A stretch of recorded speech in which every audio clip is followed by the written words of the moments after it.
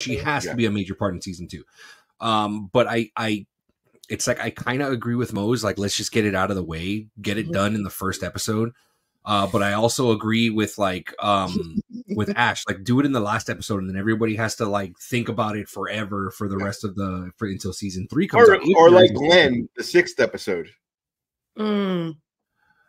Yeah, You know what I there's mean? there's also that. There's also that. But that's what I'm saying. It's it's I've noticed that that a lot of the TV shows now it's like and a lot of the films it's like rip the band-aid off, let's go. Mhm. Black Panther did that, you know, uh Wakanda Forever. You started off with There was a lot of fucking fucking talk. Shuri.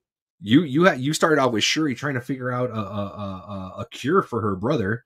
You know, my wife just finished watching uh The Crown, and the very first episode of The Crown is uh Princess Diana's accident. You know, it's it's just it's like rip the band-aid, let's fucking go. There's there's so much more story to tell. You know.